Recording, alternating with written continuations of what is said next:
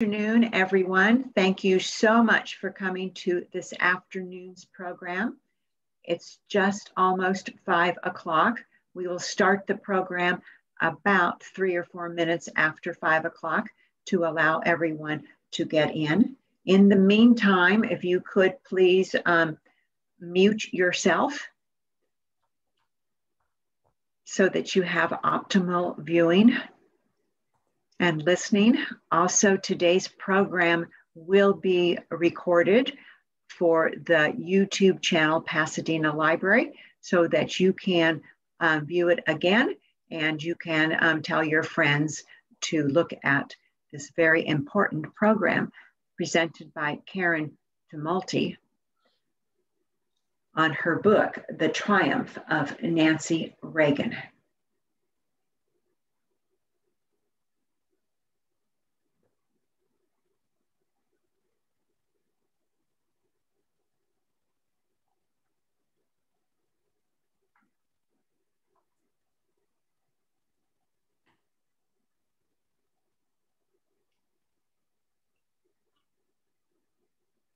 So good afternoon, everyone. I'm Christine Reeder. It's my pleasure to be able to welcome you to this program sponsored by the Friends of the Pasadena Public Library. We are honored this afternoon to welcome Karen Tumulty to present her book, The Triumph of Nancy Reagan. It is an absolutely beautiful, beautiful book. There's a gorgeous cover, a photo of Nancy Reagan the book has extensive bibliography. There are more than extensive notes on each chapter, a comprehensive index, and a lot of very interesting photos. So the book is available in the Pasadena Public Library. You can put a hold on it and check it out um, curbside or go to your favorite branch and um, pick it up at this time. And you can also go to Vroman's bookstore and purchase a copy for your own collection. I'm sure you know the devastating news about our Pasadena Central Library being closed due to seismic retrofit. So we have opened up our branches for extensive hours um, to assist patrons in the Pasadena Public Library for their enjoyment of our libraries. And we are open for limited access service. Um, and so I hope that you will come and view and visit our libraries. So the book, as I said, is beautiful. Adored by some, Nancy Reagan was also abhorred by others. She stands among the nation's most influential first ladies. With style and sensibility, Washington Post columnist Karen Tumulty explains why and the triumph of Nancy Reagan. Hers was the power that came with intimacy. She had but one preoccupation Ronald Reagan's well being and success. Her goals included, but were not limited to, guarding his health, protecting his presidency, and shaping his legacy. A staunch caregiver, she monitored his stamina, a shrewd reader of people. She made sure that self serving or incompetent aides were weakened or dismissed. A steward of his career, she encouraged his work to hasten the end of the Cold War. But the author also writes Reagan could be imperious and tone deaf and made many missteps, among them purchasing enormously expensive china and borrowing, but keeping designer apparel. Prodigiously researched, as I said, the biography is comprehensive and perceptive, enriched by the many interviews Tumulty conducted, including those with the couple's children Patti Davis, and Ron Reagan. Political junkies will revel in accounts of her role in five election campaigns as First Lady of California and the nation. Film fans will enjoy the stories of the couple's Hollywood careers, and celebrity watchers will find numerous anecdotes concerning people as varied as Sam Donaldson, Betty Ford, and Donald Trump. The Reagans, a couple defined by mutual devotion, lived a love story that, had it been invented by a novelist, would have reeked of impossibility. But true to her reportorial roots, Tumulty writes with sympathetic but clear eye. She examines her subject's insecure childhood, her brittle but vulnerable nature, her dependence on prescription medication, and her steadfast commitment to her marriage vows as her husband disappeared into the fog of Alzheimer's disease. During his dreadful final decade, even her critics voiced admiration. As the author writes, for the acclaim and sympathy that finally came her way, Nancy paid the highest price imaginable. Theirs had been a monumental story, and she was left to write the ending alone. Unlike Kitty Kelley's 1991 hatchet job, the triumph of Nancy Reagan is intimate and balanced, a triumph and a definitive contribution to history for the author. So before I introduce Karen to you, I want to tell you a little bit about her. She is a graduate of the University of Texas at Austin with a bachelor's of journalism and a graduate of Harvard Business School with a master's in business administration. She's a columnist for the Washington Post.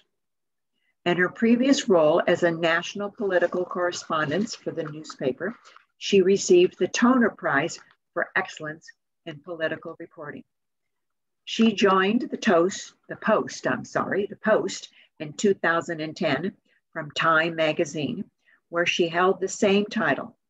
During her more than 15 years at Time, she wrote or co-wrote more than three dozen cover stories. She also held positions with Time as congressional correspondent and White House correspondent.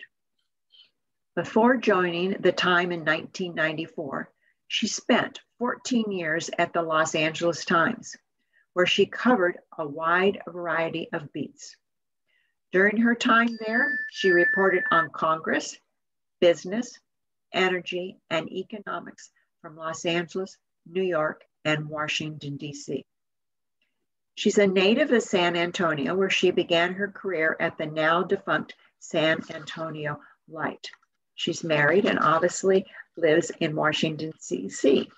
She has received numerous honors and awards, the Toner Prize for Excellence in Political Reporting in 2014, National Press Foundation Edwin M. Hood Award for Diplomatic Correspondence, 1993, and the Gerald Loeb Award, 1982. And it gives me great pleasure and honor on behalf of the Friends of the Pasadena Public Library to welcome Karen Tumulty to speak about her wonderful book, The Triumph of Nancy Reagan. Welcome, Karen. Thank you. Oh, thank you. Thank you, thank you so much. Um, are, are we okay here on the sound? Well, thank you so much. And the only thing that would make me happier is if I could actually be in California, where I spent so much wonderful time uh, working on this book. Um, I I have worked on this book for four and a half years. Uh, this was not my idea to write a biography of Nancy Reagan.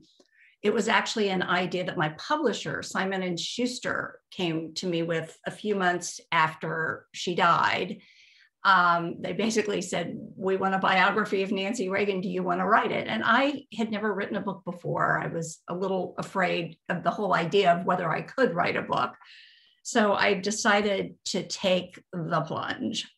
Um, I've been incredibly gratified by the reviews this book has gotten from everywhere from the New Yorker to the National Review on the right. Um, uh, but I think that what this book requires is for readers to do what I did. Uh, Nancy Reagan was a figure that I think the whole country made up their minds about 40 years ago, whether they liked her or they didn't. And I really had to sort of put aside what it was I thought I knew about her and just sort of go where the where the facts led me. And she was an incredibly complicated person. Uh, she had her flaws, she had her demons. But what I, I realized was how incredibly influential she really was to the rise of one of the most consequential figures of the 20th century, to the success of the Reagan presidency. And I mean, in terms of shaping policy. And ultimately, um, you know, when her husband, when she begins the slow loss of her husband to Alzheimer's disease, it really falls upon her shoulders to begin to sort of guide and shape Ronald Reagan's legacy. So about two years into the research, I realized that, you know, if, if I could pull off the kind of book that I wanted to write, that it would be not only a biography of a consequential first lady who was really overdue for a reassessment, but also it would be a whole new way, hopefully, of looking at, as I said, one of the most consequential figures of the 20th century, the entire Reagan presidency, and really a lot of the policies that have continued to shape politics, that have continued to shape, uh, you know, American life for more than a, a generation after Reagan left office. But um, First Lady is often been noted is a role that comes with no mandate. It comes with no job description.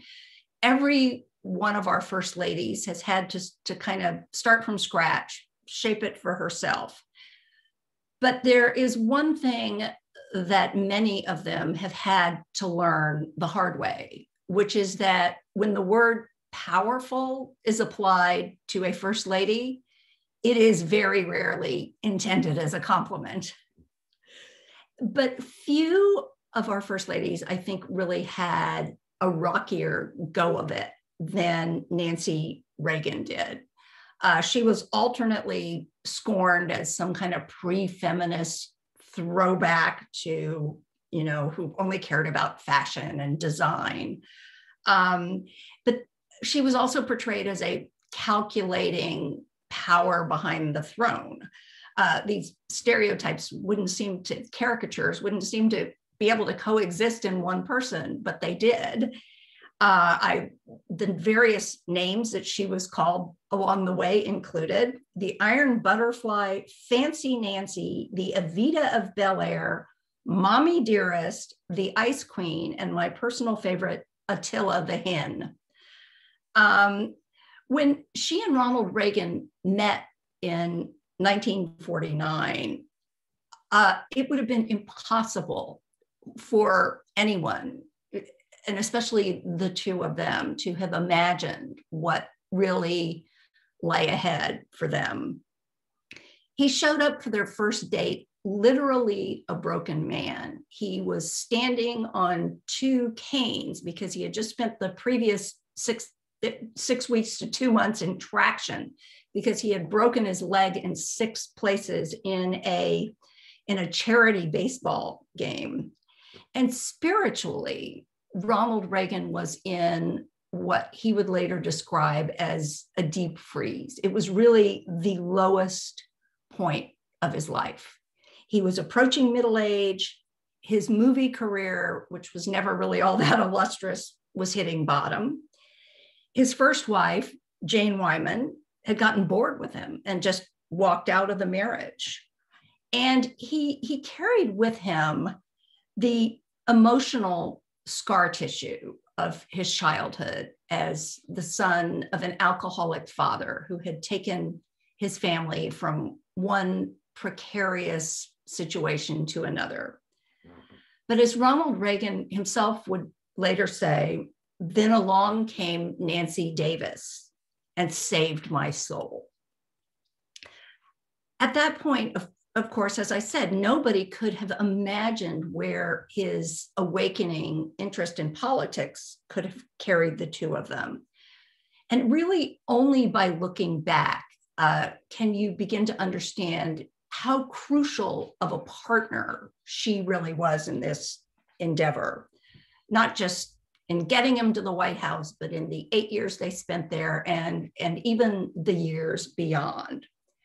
She really exercised an influence unlike any first lady before or since. And as, as Christine was saying, as I wrote, it was really the power of intimacy. As affable as Ronald Reagan was, as gifted as he was at connecting with the country, he was really a remote figure. He was a loner who, who liked people, but he didn't really need them. He was close to exactly one person in the entire world, and he married her. Even Nancy would acknowledge there's a wall around him. He lets me get closer than anyone else, but there are times when even I feel that barrier. So it really fell to her to be the networker of the two of them. In the early years of his political career, she was really building the scaffolding of his rise. She was constantly on the phone with the wealthy benefactors who became known as the kitchen cabinet, stroking their egos and, and soliciting their opinions as their son Ron told me, she cultivated them and maintained them in a way that my father wouldn't have, wouldn't have occurred to him, really. But what was most important about Nancy Reagan, as James Baker, who was their first White House chief of staff, told me, she really had the far superior radar of the two of them. She was shrewder about the people around him. She recognized that unless Ronald Reagan had the right set of people advising him, that he could be led astray by his trusting nature and by his tendency to delegate. She was also capable of doing something that her conflict averse husband could not, which was getting rid of people who uh, did not put Ronald Reagan first. When, uh, when she was in the White House, she very rarely set foot in the West Wing. But if she was unhappy about something, everybody who worked there knew it. And um, when she decided somebody was not serving the president well, when somebody was in her disfavor, they tended not to last for very long in their jobs. She is one of the reasons, for example, that the Reagan White House went through a half dozen national security advisors. But you really can see it all the way back to much earlier in his political career. When his uh, 1980 campaign was on the verge of imploding right around the New Hampshire profile, she was the uh, primary. She was really the one who engineered a badly needed shakeup in the campaign that included firing the campaign manager and his top lieutenants. Um, she was a pragmatist. Her ideology was simply what is good for Ronald Reagan. And she really mistrusted a lot of the more ideological advisors who surrounded him. She didn't like the type of people that she would describe as jump off the cliff with the flag flying conservatives. What James Baker, again, who was their first chief of staff, later Reagan's president, treasury secretary, told me she was the guardian. She had terrific political antenna, much better than his, in my view her instincts that time would show were usually right. Um, most crucially, and I think the chapter that in many ways is the heart of my book is the chapter about the Iran Contra scandal, which took place um, in Reagan's second term, really put him in very serious danger of being impeached. It was Nancy who remained clear eyed enough to put together the rescue effort she was relentless and ruthless in engineering the firing of Donald Regan, their, the autocratic chief of staff in the second Reagan term.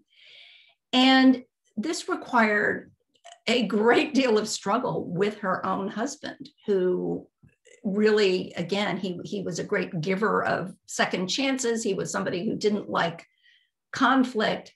But just as important, probably more important than, um, you know, demanding and ultimately getting a complete shakeup of how the White House operated.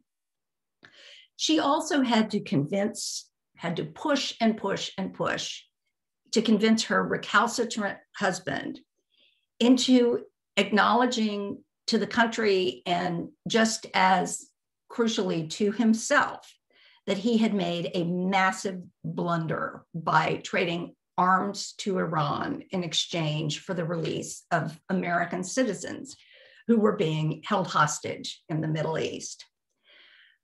I, I was really surprised in this book by how much I ended up writing about foreign policy. She was absolutely determined that her husband was going to go down in history as a figure of significance. And she really believed that ending the Cold War could be the accomplishment that secured Ronald Reagan's reputation among presidents.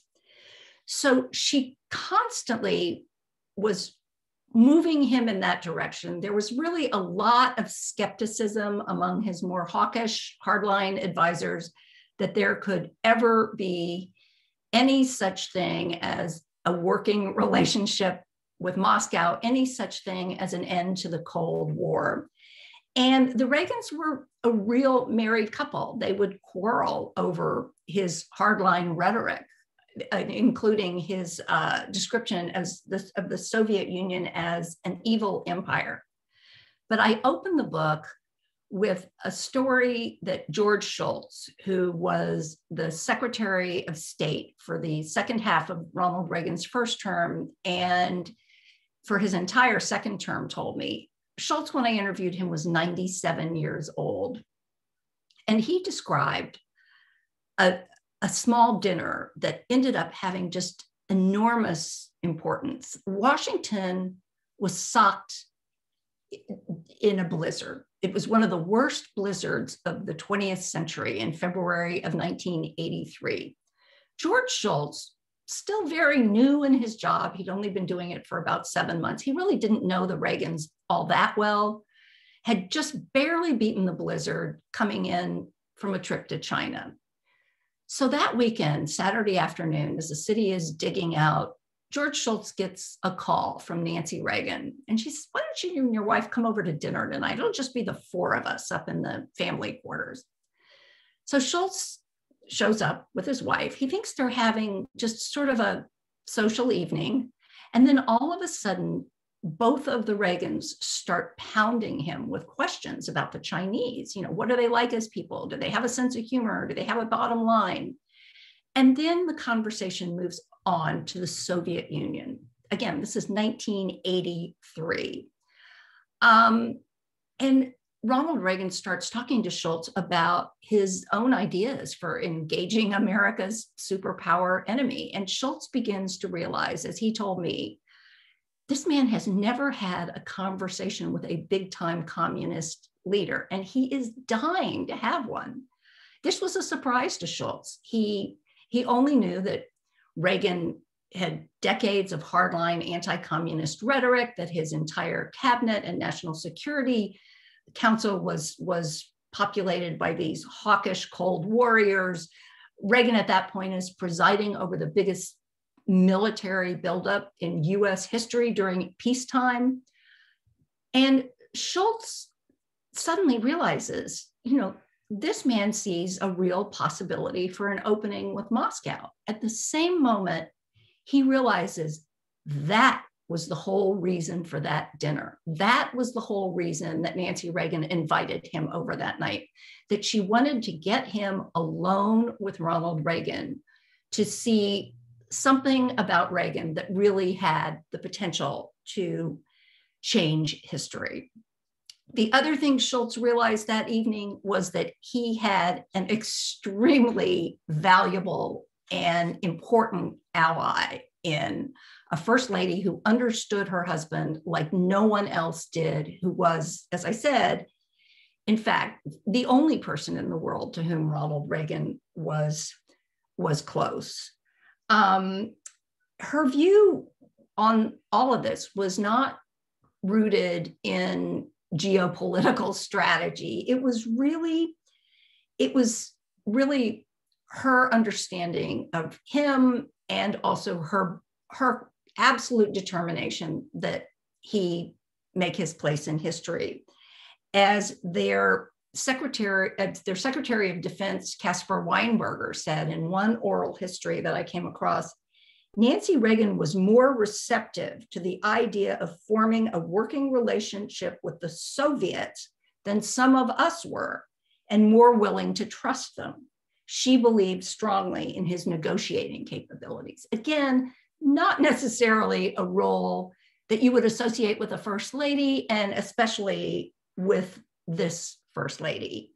Um, you know, I think that as the years have gone by, an appreciation has grown for the role that she played in assuring Ronald Reagan's success and elevating him to a figure who would continue to dominate politics for a generation after he was gone. And yet, though she was absolutely hyper vigilant in attending to his image and really almost always on the mark where his image was concerned, she was just often clueless about managing her own. He was called the Teflon president because nothing ever seemed to stick to him. If that was the case, she was the Velcro first lady. Um, she was an easy proxy, I think, for political opponents who were too intimidated by Ronald Reagan's popularity. Remember, this is a president who won re-election with 49 states voting for him. That they were too intimidated by his popularity, in some cases, to attack him directly. She also she terrified for his safety after she almost lost him to an assassin's bullet two months into his presidency. She did some incredibly irrational things, including consulting an astrologer to determine when and how he should make public appearances. She bought $200,000 worth of White House china with donated funds, not taxpayer money, but $200,000 set of china in the middle of the worst recession uh, that had hit the country since the Great Depression. Um, I think that a lot of the sort of things that are hard to understand about her character, you really do have to go back to the trauma of her own childhood. Um, she was the product of a bad match between an ambitious actress and a not very successful car salesman. Their marriage was effectively over by the time she was born, and her mother essentially abandoned her for six years with relatives. So the earliest memories of her life and the ones that stuck with her were just yearning for this absent mother. Ultimately, her mother remarries a, a neurosurgeon in Chicago. He's a sort of stern, forbidding figure, but Nancy Reagan adores Loyal Davis. He is probably he is the mo- second most important man ever to enter her life, but she was always sort of an outsider in her own home. And as her son Ron and others, her stepbrother told me, it really sort of cast a shadow on her spirit, a sort of wariness, a sort of insecurity that never really lifted. And she always had this sense that no matter how good things seemed to be going, the bottom could drop out at any moment. And certainly that seems to be confirmed two months into her husband's presidency when he is almost killed by an, a would-be assassin. Finally, it is confirmed very shortly after he leaves the White House when he is incapacitated by Alzheimer's and he is off on a long journey where she cannot follow him. The other thing about the Reagans is the dynamics within the Reagan family. And I write quite a bit about that in the book. They were a blended family. There were two children from his first marriage to Jane Wyman, two children that they had together. They, their bond was in many ways so close that it really didn't make room for anyone else. And each of the children suffered in sort of his or her own way as they were kind of making it on their own. Nancy Reagan herself would write, All I ever wanted to be was a good wife and a good mother. And I guess I was more successful at one than the other. Um, the final sad chapter of their lives together, as I said, would bring yet another reassessment of her.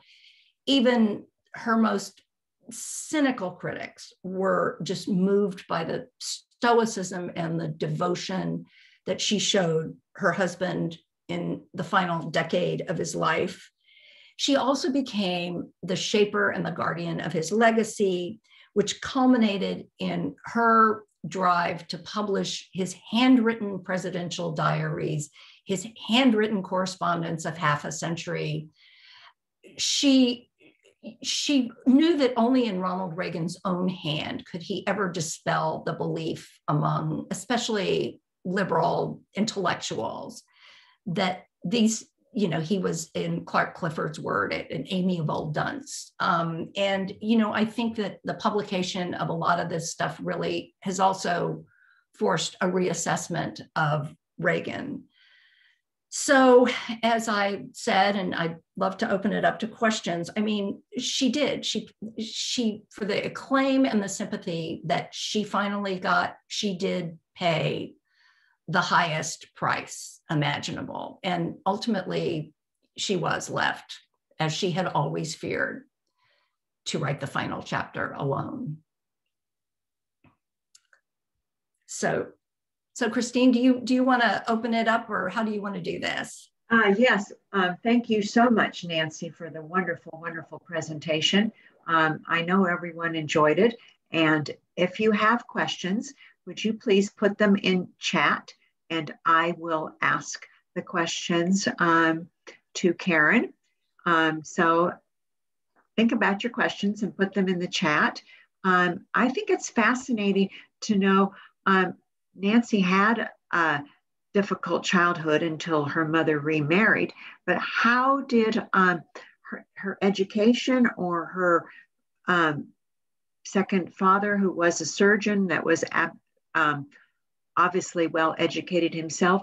How did she learn how these skills and how did she learn how to manipulate people so well and have such insight? Uh, maybe the word's not manipulate, but insight into um, people's characters and what she should do. You know, I really do think it was a survival skill for her in her childhood, but also her mother. Um, in some ways, her stepbrother, again, he was well into his 90s when I interviewed him, but he said you can really look at the pattern of her mother's, Edith Davis's marriage to Loyal Davis, and see the pattern of the Reagan's own marriage. That while Loyal Davis was a brilliant neurosurgeon, if you can even imagine somebody who in the 1920s was practicing in the field of neurosurgery, what a pioneer he was. But it was really Edith his actress wife who engineered their rise into Chicago society.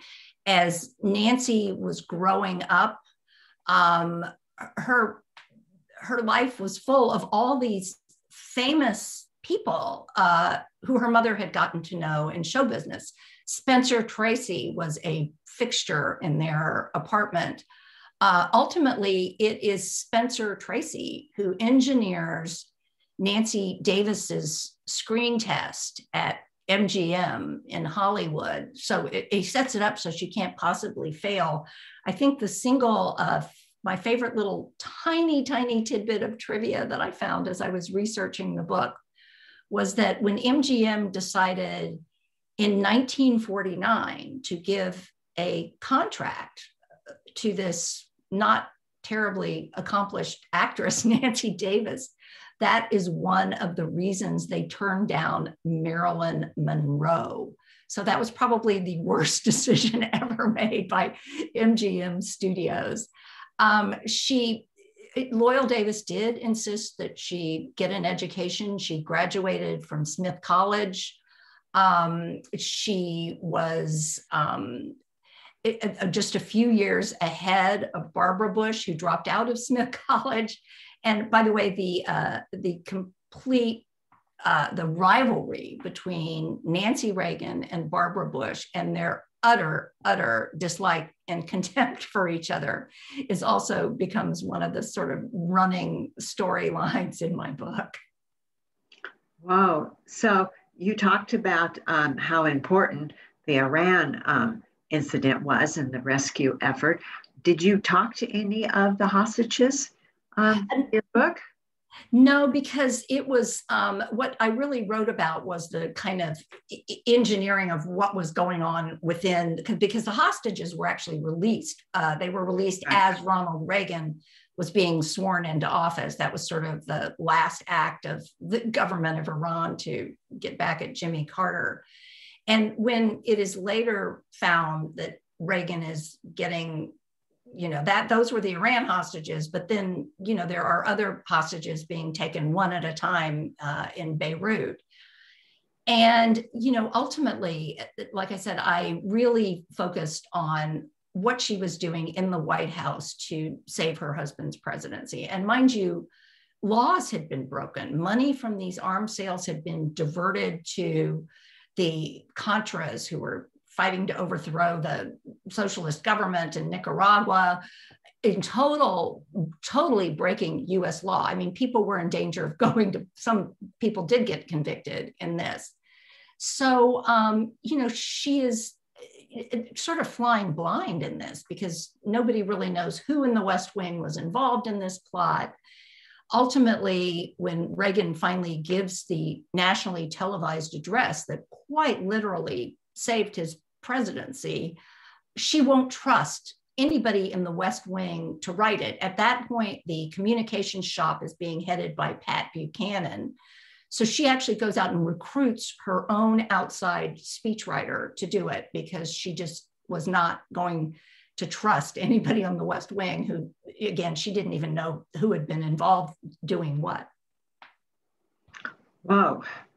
Boy, you've done lots and lots of research on this. And so, did you go out to the um, Ronald Reagan Presidential um, Library here um, in California and do a lot of research there? Were they helpful to you? I spent weeks and weeks and weeks in the research room of that library. I don't know how many of you have been there. It's on this beautiful mesa in Simi Valley. The research room has no windows, and I'm convinced it's 60 degrees all the time in there. Um, I went through one thing I learned that I found was fascinating was that in presidential libraries, there are the things they have to show you and the things they don't have to show you. And basically, somebody from the National Archives goes through all of a president's papers and decides, you know, this should be, this is part of his official business, this should be in the in the public domain.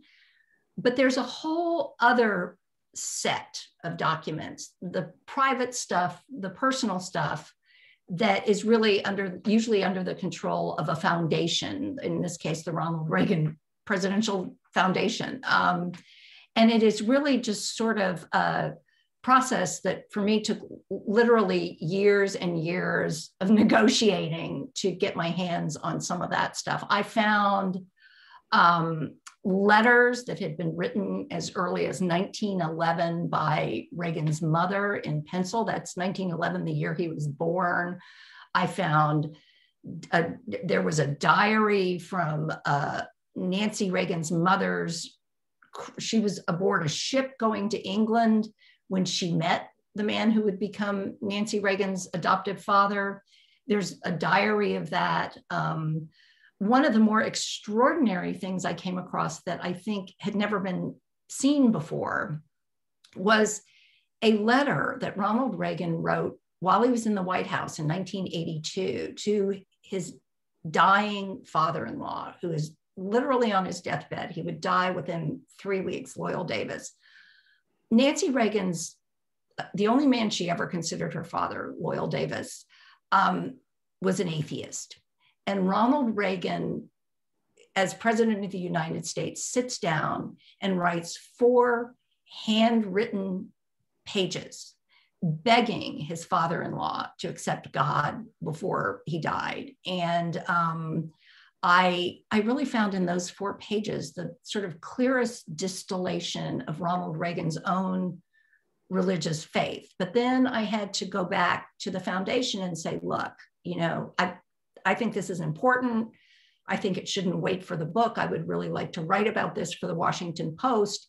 And again, those are the kinds of things you just really, I mean, the library wasn't even aware the letter was there, much less that they wanted to, to give it to me. But uh, ultimately, I was able to get get them to let me write it. Well, it shows how important your research was and what insights you had. Um, prior to preparing this biography and what it made for everyone to understand Ronald Reagan better. So Nancy had um, a, a, lot of friendships, did she? Did she have friendships with um, females or uh, really guard herself closely? Uh, she did, and um, but then she had a lot of. It, it's interesting. I found that most of her relationships with the other first ladies were not so great. Um, and at one point during the 1976 Republican convention, where Ronald Reagan almost takes the Republican nomination away from a sitting Republican president, you know, Nancy always suffered by the comparison with kind of breezy, modern Betty Ford. And at one point during that convention, Betty Ford says, Oh, poor Nancy. She was a career girl before she got married, but then she met Ronnie and she just fell apart. So there, there was a lot of, you know, in a lot of cases, these women, their husbands had been rivals. So sometimes I think it's easier for the principals to set these things aside than it is for often for for the spouses. She had a lot of good for her closest friends were all in Los Angeles. Um, and it was a, generally a pretty wealthy set of people. But I also found instances where she could be, I mean, and again, a lot of people found her incredibly difficult to deal with, but she could also be very, very kind to people in need. And one of the people I interviewed for this book was John McCain's first wife, Carol, who in around 1980 she she was the wife who had waited for him for the five years he was a prisoner of war.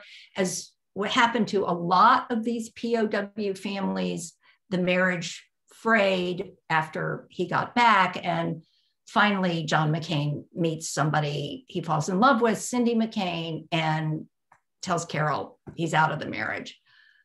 Nancy Reagan, who had gotten to know the McCains uh, from the time he had gotten back, she was very interested and involved in the POW cause, takes Carol McCain under her wing. The next thing I see in the records is that Carol McCain is traveling with Nancy Reagan on the plane all the way through the 1980 campaign.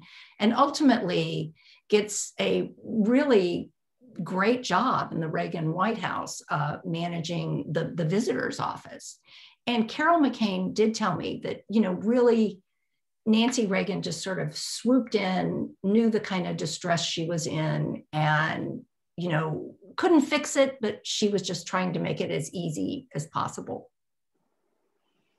Well, thank you for that. So, someone else wants to know about can you speak a little bit about her role um, uh, related to the AIDS crisis and also to Hollywood friends. And those are two separate questions. You know, I, I have an entire chapter on the AIDS epidemic in the book, and I found a lot of new and, quite frankly, mostly horrifying information about what was going on inside the White House. Um, the AIDS epidemic is something that is always going to stand as, I think, one of the deepest scars on Ronald Reagan's legacy and on his presidency. He didn't even say the name of the disease until publicly until his second term. Um, but I, I have found a lot of evidence, and again, I lay it out in the book. Nancy Reagan, being the daughter of a physician, her son Ron is up in New York dancing with the Joffrey Ballet. He's part of the arts community up there.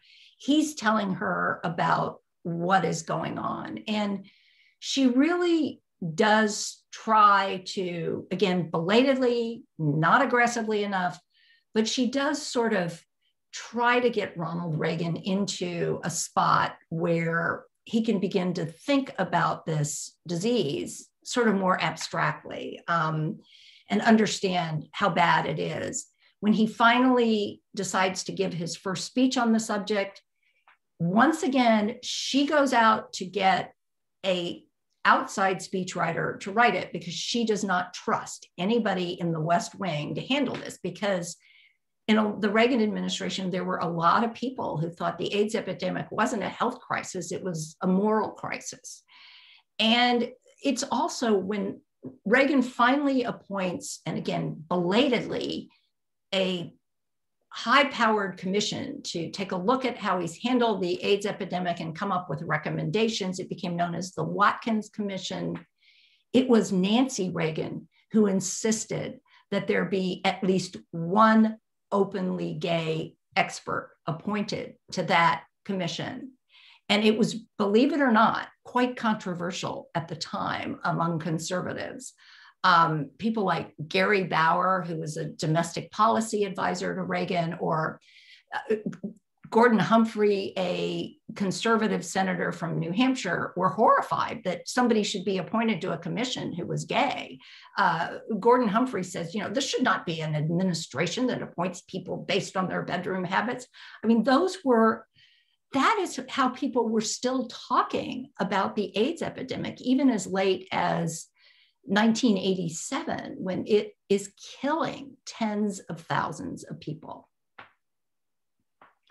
Thank you for that insight. And you have a whole chapter in your book. I would recommend everyone to read that chapter for more insight. So, talking about her husband's Alzheimer's, did she support the use of stem cell uh, therapy um, when her husband was diagnosed with Alzheimer's? Uh, not when he was diagnosed. The, really, the, t- the technology around it uh, not really developing until after, you know, around two, there was a big, big controversy early in George W. Bush's administration uh, over whether they would continue to allow federal involvement in stem cell research. By now, it is too late that for it to ever help Ronald Reagan. But Nancy Reagan becomes a very big believer in stem cell research. She first lobbies kind of behind the scenes and ultimately, she stands up as, as George W. Bush in 2004 is about to make a very big set of decisions on stem cell research. He's already disappointed her once.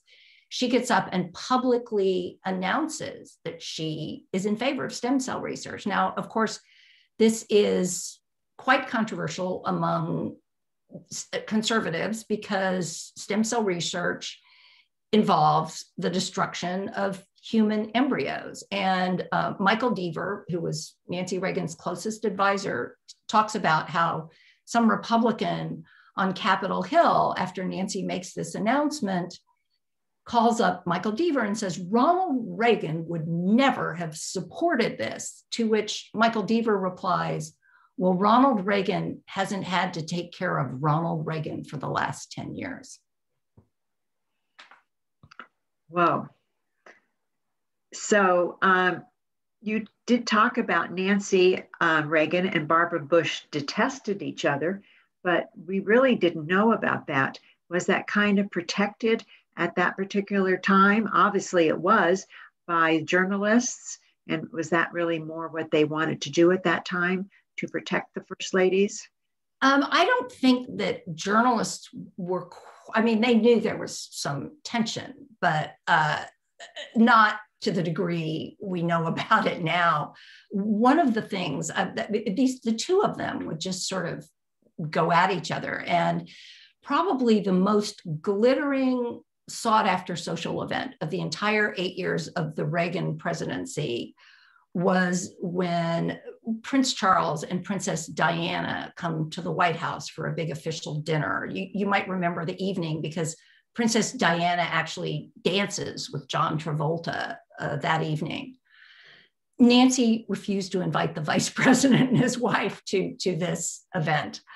Um, she, you know, they were rarely invited to the residence uh, in the White House. It was interesting when Joe Biden recently said that he had never set foot in the White House family quarters while Obama was there. People were really shocked. But, um, you know, the Bushes were almost never invited there.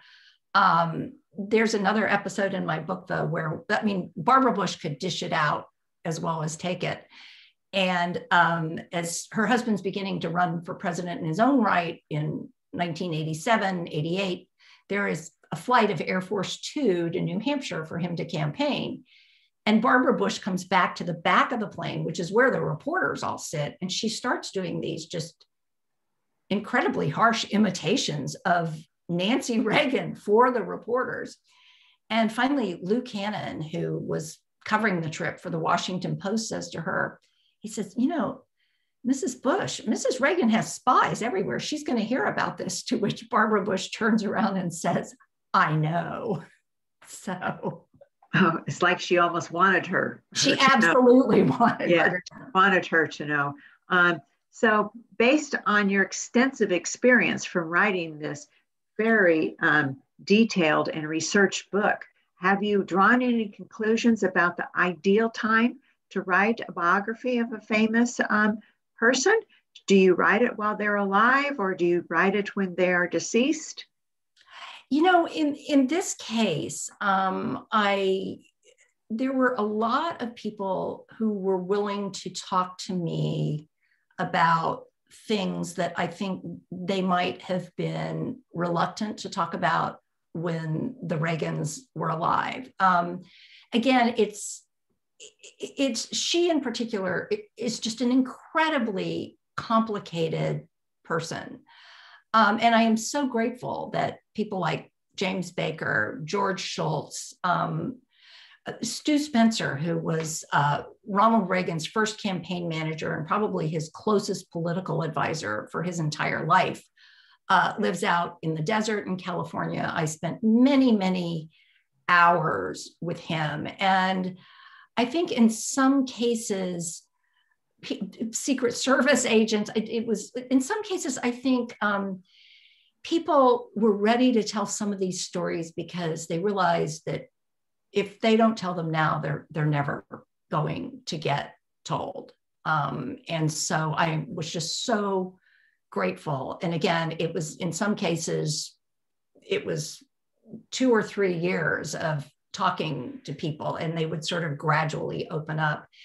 Just about everything in this book is on the record. Um, I have very few bits of information that I felt that I had to, you know, not be completely transparent about the sourcing.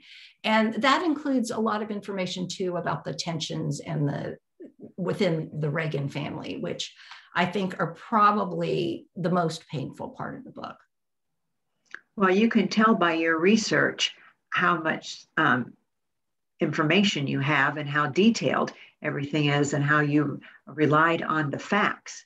So somebody wanted to know if Nancy Reagan was alive today, do you think she would want to be president or vice president or have more political ambitions other than just supporting her husband? You know, I've got to tell you, it's so interesting to me because this was a woman who was so comfortable with her own power and so completely fearless about wielding that power. And yet, um, if you were to ask her if she were a feminist, she would probably for most of her life have said no. Um, I'm I'm just a wife. Um, and she that to me was also part of the tension of the book um, because she is they are entering public life they are entering politics at a moment of great upheaval in society that you know it's the Vietnam protests, but it's also the rise of the burgeoning feminist movement.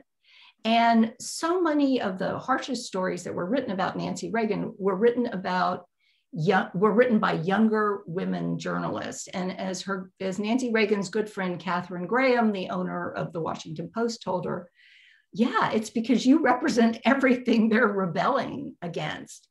But it was also interesting to see after Iran Contra, when it becomes clear, you know, she has just mowed down the White House chief of staff, all of a sudden, a lot of these critics of hers, especially you know younger women feminist writers are going wait a minute you know she was able to come through for her husband when all the smart guys around him didn't they weren't up to the job and also a lot of the conservative men who sort of like their first ladies a little more traditional than this uh, are suddenly turning on her. Uh, William Safire in the New York Times writes that she is an incipient Edith Wilson running the country in her husband's stead. Um, and it was either him or Scotty Reston, I'm forgetting which, but one or the other of them actually used the word henpecked in a column to describe Ronald Reagan. So all of a sudden, you know, the, these male writers who were really much more comfortable with a traditional first lady were not really that feeling that way about a powerful one. Wow. So you have such insight into Nancy Reagan with so many um, years of research, original um, research um, into her papers and papers at the library. So, do you have another book um, in planned? Are you going to be researching another First Lady? Well, I, I you know, I don't know. I, I, um, you know, I've been really gratified by the reviews, and especially my book editor and my agent have been very gratified by the reviews. Um, I would want somebody, if it's a biography, I would really want somebody as sort of complex and who had as many layers as she did. And also, I do think there's a value in sort of reintroducing people to somebody they think they know. They aren't necessarily sure they like, but they think they know. So I, I, suppose I will at some point look for another subject, but right now I still feel like I'm in the labor and delivery room with baby number one. Well, you have quite a wonderful book in um, this book that you have just published, um, The Triumph of Nancy Reagan. And I thank you very much, um, Karen, for presenting and participating with us today to share your book. It's absolutely fabulous. The four years of research plus all of your knowledge about all of the individuals associated with the Reagan presidency um, is spectacular. And I encourage everyone to, if you haven't had a time, chance to check out the book, please check out the book from the Pasadena Public Library. You can see how thick it is. The information in it is quite wonderful. And um, Karen has talked about some of the special chapters in the book um, and the wonderful index. And the notes for each of the chapters is extensive. So I thank you so much for coming today and agreeing to speak for us. And I thank the Friends of the Pasadena Public Library for sponsoring you for us today. And thank you so much, Karen, for your time and efforts for us today. Thank, thank you. Thank you, Christine. And good luck with getting the library back on, back open and and uh, structurally where it needs to be. Thank you very much. I know everyone joins us in Pasadena with those same sentiments. Thank you very much. Let's give Karen a round of applause. Thank you so much. Thanks. Thank you. Good afternoon, everyone. Thank you for coming.